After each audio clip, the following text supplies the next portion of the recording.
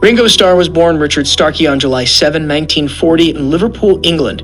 He was an only child, and while his mother doted on him, his father lost interest in family life early on.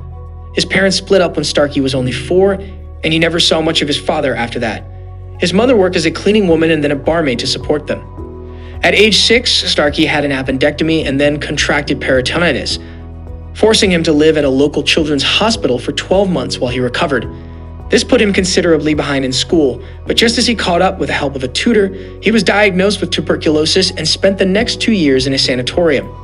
One of the ways the staff tried to distract and occupy their patients was to have them form a band, and it was here where young Starkey first discovered percussion, using a wooden mallet to strike the cabinets next to his bed. From then on, despite musical talent with other instruments, he was a drummer. In 1953, his mother remarried, and his new stepfather encouraged his interest in music. By 1955, when he returned from the sanatorium, school wasn't much of an option anymore as he was too far behind. He tried a series of different jobs, which were unrewarding professionally, but introduced him to skiffle music via one of his coworkers. Skiffle was played with household objects instead of musical instruments, which were often out of the financial reach of struggling musicians, and Starkey started playing regularly with a band. He got his first real drum kit for Christmas in 1957. A few years later, he joined a real band with real instruments, Rory Storm and the Hurricanes, and started going by the name Ringo Starr to reflect both the rings he wore and his interest in country and Western music.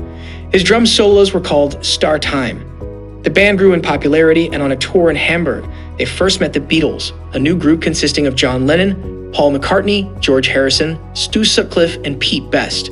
In October of 1960, Starr played with Lennon, McCartney, and Harrison on a track backing Hurricanes singer Lou Walters. In 1962, he officially joined the Beatles, replacing Pete Best. After their first gig at the Cavern Club in Liverpool, Best's fans were so angry about the switch that they gave Starr a black eye. The group's followers eventually came around, and Starr became a beloved member. First, musically, he had to get past George Martin, who had signed the Beatles to EMI and was producing their first singles. Not ready to trust Starr yet, he replaced him with another drummer and assigned him to tambourine and maracas. Starr thought he was going to be fired, but things started to gel with the fans as well as the group itself. Soon, all four were on the same wavelength and the alchemy began. The Beatles single Please Please Me made the group a pop sensation in England. Their first album together, Please Please Me, added fuel to the already growing frenzy that would soon become known as Beatlemania. Starr made a rare appearance on lead vocals for the song Boys on the album. With their mop top hair and matching suits, the Beatles crossed the Atlantic Ocean to launch their own pop invasion of America in 1964. Beatlemania was in full force during their first US television appearance on The Ed Sullivan Show. Their single, I Want to Hold Your Hand, had already climbed to the top of the charts before the taping and was followed by a succession of hits. And throngs of screaming fans, many of whom were love struck teenagers, filled the audiences of their live shows. In June of 1964, Starr became ill again. He was hit by pharyngitis and tonsillitis, and he was temporarily replaced on the road by Jimmy Nicol. He rejoined the tour a few weeks later, relieved to find out he wasn't being permanently replaced. That same year, the Beatles took their music to the big screen with the humorous documentary film A Hard Day's Night. For their next film venture and soundtrack album, Help, Starr provided the vocals for Act Naturally. Both projects allowed Starr's comedic and acting talents to shine through. That same year, Starr married longtime girlfriend Maureen Cox. Beatles manager Brian Epstein was his best man, and George Harrison was one of his witnesses, along with the stepfather who had bought him his first drum set. Also, that year, the Beatles finally met one of their idols, Bob Dylan. According to legend, Starr was the first one to smoke pot with Dylan, while the others initially hung back. Times would change. While Lennon and McCartney were widely praised for their songwriting talents, Starr's contributions were not as readily acknowledged. He was known for his strong drumming talents, but he also assisted in the group's creative process and was a key ingredient of the group's emotional stability and good humor. Unlike past drummers who remained firmly in the background, Starr was seen an equal part of the Fab Four. Despite not being a songwriter of the same caliber as his bandmates, he was always featured on one song on each album and was happy with the arrangement. His unique drumming style was an integral part of what made the Beatles so iconic and would influence future generations of drummers for decades to come. In 1966, the Beatles stopped touring, giving their last concert in August at San Francisco's Candlestick Park. They continued to record together, taking their music in new directions. They created one of rock's first concept albums with Sgt. Pepper's Lonely Hearts Club Band, which was meant to be listened to in its entirety in order. Other commercial and critical successes included The Beatles, often referred to as the White Album, in 1968, to which Starr contributed the track Don't Pass Me By. During the recording sessions for the White Album, each member of the group started feeling alienated from the others, thinking the other three had a connection he was missing out on. When Starr saw himself increasingly left out of recording sessions, such as Why Don't We Do It in the Road, which McCartney recorded entirely on his own, he quit the band, becoming the first member to do so. His bandmates realized they had not been clear on how valuable he was to their efforts and sent him telegrams calling him the best drummer in the world. When he returned to the studio, he found his drum kit covered in roses, spelling out Welcome Back Ringo. The band was back together, at least for a while. Personal and creative tensions continued to erode the group. Starr spent some time on other projects starring the film The Magic Christian with Peter Sellers. They played their last gig together on top of the Apple Corps Ltd. building in London in January 1969 for the concert film Let It Be. In April 1970, the Beatles finally called it a day with Paul McCartney's announcement that he was leaving the group. One of the most successful groups in popular music finished their run with more than 45 top 40 hits in the United States alone and left an incalculable impression on millions of fans worldwide. After the Beatles broke up, Starr embarked on a solo career his first album, Sentimental Journey, was a collection of Tin Pan Alley tunes with arrangers including Quincy Jones, Maurice Gibb, Martin, and McCartney. For his next effort, Starr went for country with of Blues. Starr was the one Beatle who continued to work with each of the others. He drummed on albums for Lennon as well as Yoko Ono and Harrison. And he and Harrison co wrote the hit single It Don't Come Easy for his 1973 album Ringo. Ringo gave him two number one hits in the US and was his best selling solo record. The key to his success, it seemed, was a combination of his charisma and a rock solid group of collaborators. The same personality that made him the glue that held the Beatles together for so long is what drew other artists to him. The formula was a good one. In addition to recording, Starr was flourishing in other creative directions at this time. He appeared in films like 200 Motels, That Will Be the Day, and Son of Dracula with musician Harry Nilsson. His first directorial effort was a 1972 documentary about the band T Rex called Born to Boogie. Starr founded his own record label and continued recording, but as he later admitted, he was drinking and doing drugs to the point that he wasn't able to accomplish much else.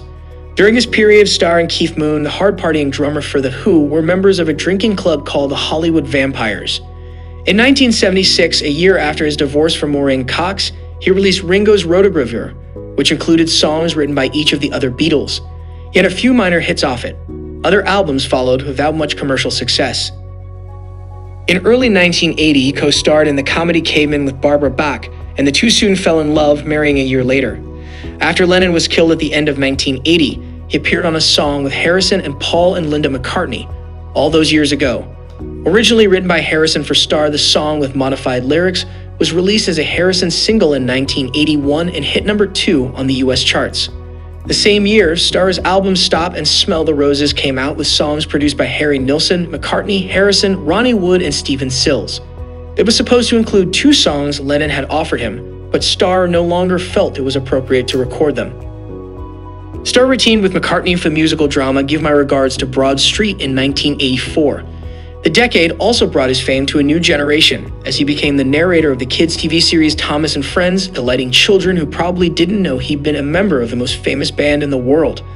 For the show's spin off, Shining Time Station, Starr played Mr. Conductor for a season.